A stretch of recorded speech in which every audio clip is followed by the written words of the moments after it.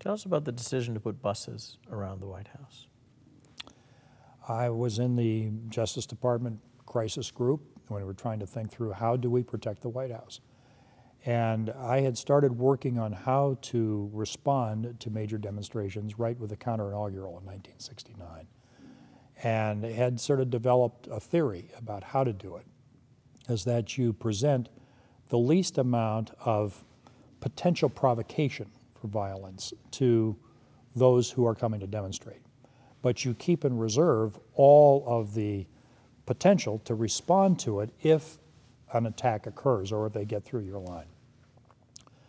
And I remember a meeting in the Justice Department, uh, presided over by Richard Kleindienst, uh, the Deputy Attorney General, and others who had different ways of approaching demonstrations.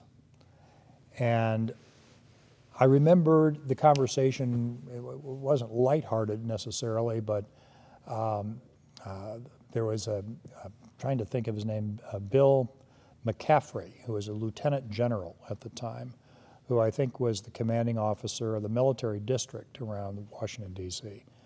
And he and I were talking with each other, and I think I said, Well, you know, in the old Westerns, uh, John Wayne just used to circle the wagons. And that was enough to be able to protect people inside the wagon train. And that led off that, well, you know, we've used buses before at different places in the city when there have been demonstrations. And it just, one thing led to another and said, well, why don't we consider just basically leasing buses from the metropolitan districts, the utilities that, that run these bus companies and circle the wagons. And um, we did. And it, I think it turned out to be a good, good decision.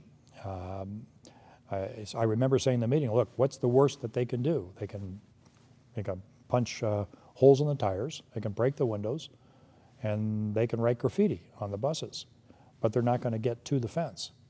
And we can put a cordon of people there, and if they try to come over, we can squirt them with some tear gas, and they'll slide back down the other side. Um, and to me, it's a different, it's different looking at a bus than it is looking at a cordon of SWAT-clad uh, mm-hmm. policemen, which to me invites a confrontation. And I was a firm believer then, and I still am to this day, that uh, you have to provide the protection, but you do it in a way that is the least provocative and likely to incent an attack.